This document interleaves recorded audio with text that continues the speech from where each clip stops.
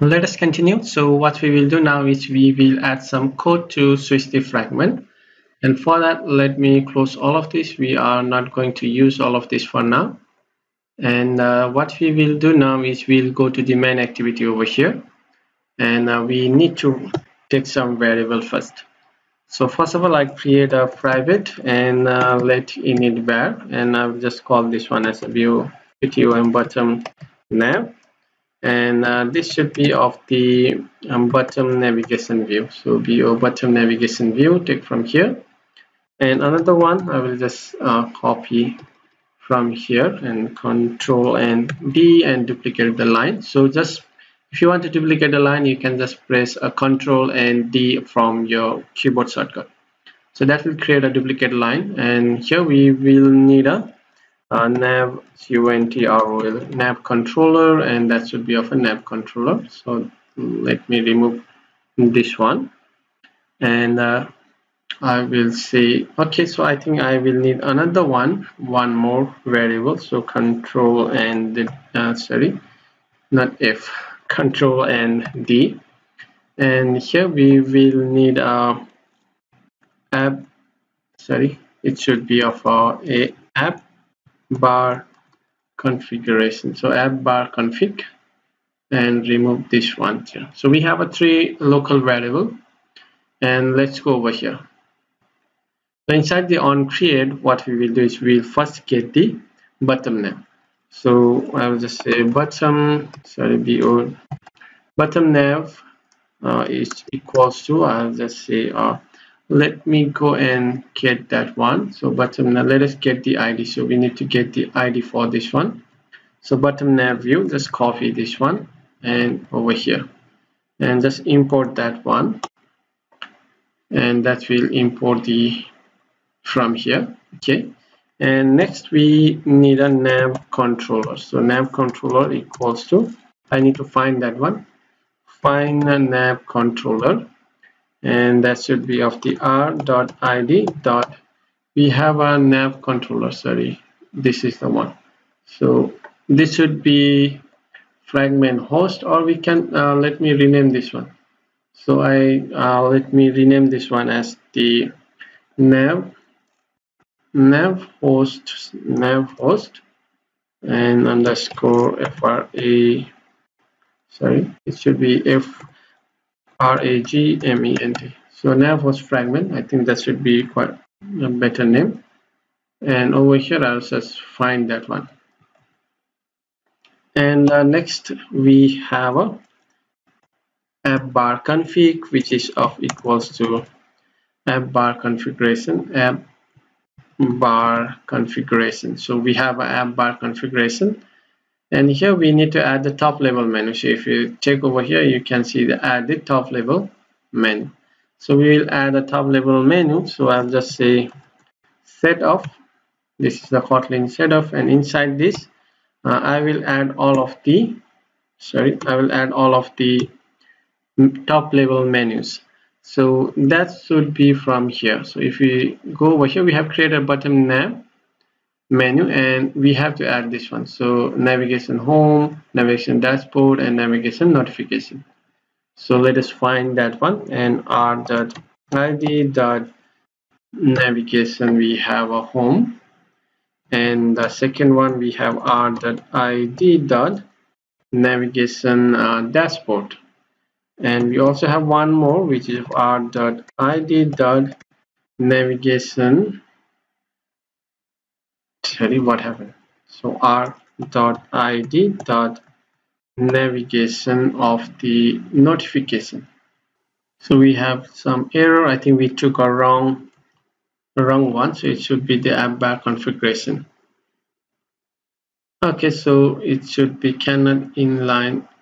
So we need to add some cannot inline bytecode build with a JVM target 1.8 so we need to add the target. So for that what we have to do is we need to go to the over here. So let's go to the build.gradle and we need to change some of the information over there. So what we need to add over here below the build type we can add uh, let, let us add the compile option. So I'll just say compile uh, compile option. So options options. And inside this we will say that the source uh, s o u r c e source compatibility so capability compatibility so we need to add the java version. So for that java version uh, let's say uh, java version of 1.8 and uh, we also need need another one. That should be of the target compatibility. And that should be let's remove this one. It should be of the um, java version 1.82 and also we need to add for the uh, kotlin option. So k o t l i n and kotlin option. And for the kotlin option we still have to add the target. So jvm target which is of equal to java version. Java version right? So java version dot i need a 1.18 uh, synchronize for now. And what does it says it says that okay so here is the error. So what we need to do is we need the comp mm, spelling is not compile compile option. So try it again. And uh, okay so that should be the one. Let us set up now. So I will say set up action. So set up action bar with a nav controller and I will pass we have to pass the nav controller right and the app bar configuration. So nav controller is this one. So copy and paste this one. And second we have to pass the app bar config. So this one is the one. So make we pass it over here.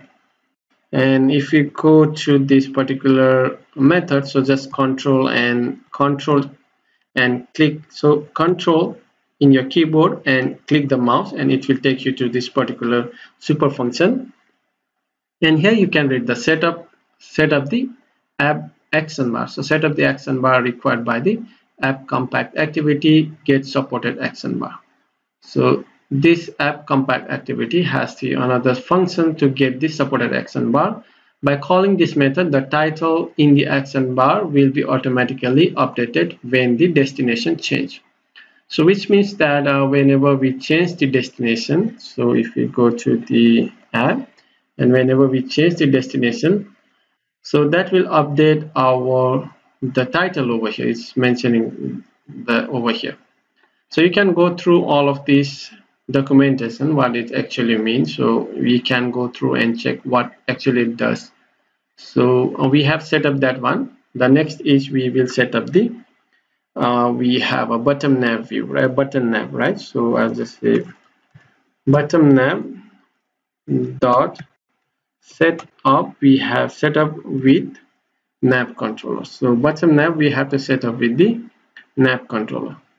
So this is the nav controller and we have to pass it over here. So if you go to this super function and you can see that it says that set up the bottom navigation view for the use with the nav controller we have set up the bottom navigation over here. Now we need to set up this one to work with the navigation. So mobile navigation that we have created that is the nav controllers for us. So that holds all of the fragment for us for our navigation. So it says that to work with the nav controller this will call on this particular function when the menu item is selected. So we have that menu over here. We have a menu. So whenever this is selected it's going to call that particular this the selected item in the navigation will automatically be updated when the destination changes. So you can just go through all of this documentation if you would like to know more about it. And uh, for now, I think that should be the one we are looking for. And let me run our application. And that should be able to change the destination in our application. So let us wait for the application to come up and now we can see that we have our application and let me try to change it. So if I change it you can see that the notification is changing. And if I come to the home it's home and I go to the dashboard it's dashboard. So that's working fine. So if you want to make sure you can just change this particular destination. So if you go to the dashboard and you can just remove this string file and now you can just say this is a dashboard and string dashboard. And for the home I will just change this the string over here. And I'll just say to the home. So we have a home. And also for the notification let's just change this one to the notification. So just to make sure that everything is working correctly.